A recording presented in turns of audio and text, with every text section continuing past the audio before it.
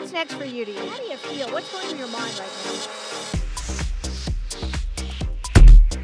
Well, I tell you what, um, we're just a few, well, not even a few hours, but it feels like a few hours, but it's about 24 hours away from launching the first Valor bare knuckle event. And I tell you, after we did the uh, the official weigh-ins today, uh, my excitement went way up because everybody was on weight. Uh, these fighters looked tremendously ready to go. I mean, the look in their eyes, uh, the the shape that they're in. Um, I think we're in for a heck of a night, man. Well, I tell you what, being a promoter, and uh, I tell you, as a fighter man, all I got to do is just like make sure I made weight and uh, and train, and was something I was used to. Now being a promoter, it's just a whole, almost have a, different vision on it. But I, it's but I don't have a problem with that because it feel I feel like that I just. I want to share that love that I had, right? As a promoter, when I was fighting, I fell in love with this bare knuckle thing. And now I could turn around and I'm going to share that same love that I had in that bare knuckle arena as a promoter, I get to share it with all these other fighters and fans in what I fell in love with, which was bare knuckles. So, um, really, that's all it's about. Me being a promoter is just sharing that, being able to pass it on, and uh, and be able to see the look in these guys' eyes when they step in there and get ready to fight. I know it's going to make me just be jacked up because I know what I felt. So, just being able to watch that as a promoter uh, is exciting. Why I'm uh, choosing bare knuckle over MMA is because I fell in love with it. I mean, literally, when I first walked into that cage, you know, so many years ago, and I saw Gerard Gordeau knock out this sumo guy, and I just went, wow, man, this is really gonna happen. And I remember I got in and fought, and I was, it was bare knuckle, mano a mano, God given talent. And I thought to myself, now this is the ultimate in fighting. I mean, when you talk about combat sports, you can't go any higher in combat sports than when bare knuckle.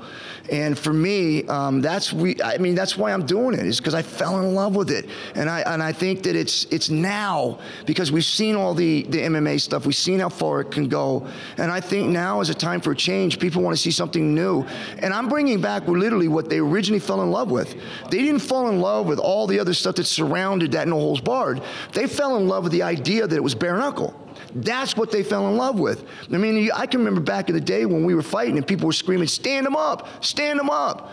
Well, we're going to stand them up and we're going to give the fans what they wanted. We're going to give the fighters what they want. And we're going to put on one hell of a show on the 21st in 24 hours. Bare knuckle is its own beast. Bare knuckle, in my opinion, stands alone. And when you talk about fighters coming from MMA or fighters coming from boxing or maybe just a straight up street fighter, it's a different beast, man. You cannot take MMA and go, well, I'm going to be go successful in bare knuckle because I fought in MMA. It don't work like that. And same with boxing. It don't work like that.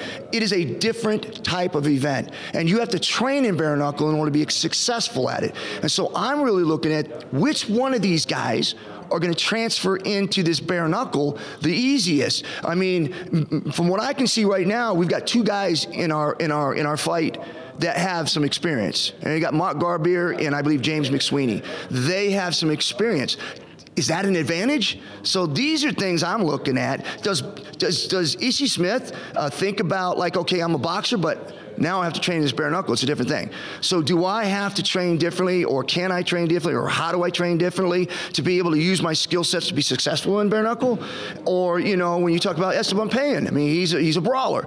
Um, does he come out and just go street fighting and just start tearing it up? To me, these are all interesting concepts of these guys fighting. Can these guys take what they've already learned in the disciplines that, we're involved with and bring it into bare knuckle and be successful?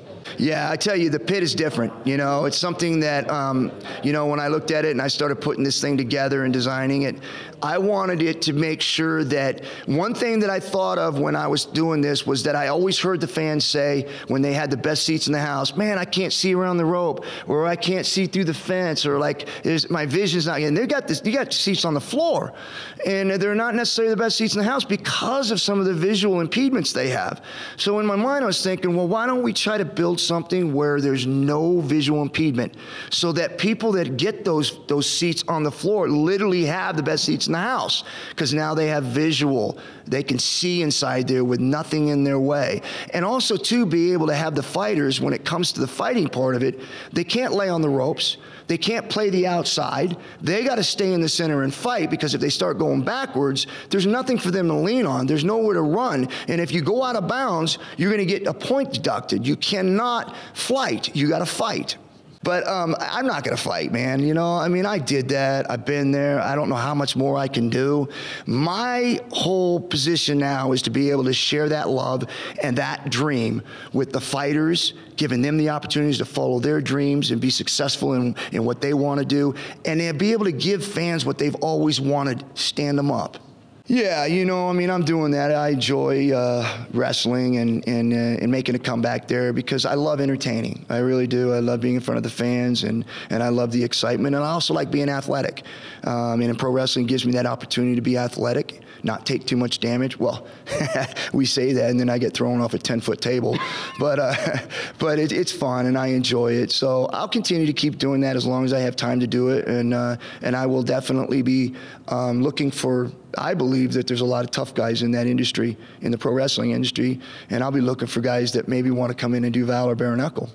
Well, yeah, we're not, like I said, we're not one and done. Um, we have plans to do some in the future. Um, when that is, uh, we're going to get this first fight under our belt, and we're going to sit back and kind of um, see what we did good, see what we done bad, see what we can improve on, uh, bring the team together, and have some suggestions on, on where we go from here. Yeah, I just want to say, you know, the 21st, uh, Valor Bare Knuckle, and it's at Four Bears Casino, a pay-per-view, all the pay-per-view networks. You can get on there and get that. And if you have your phone, you're not at home, and you want to stream it, go to FITE TV. You can get it on there. But listen, history's being made. Where are you going to be when it is made?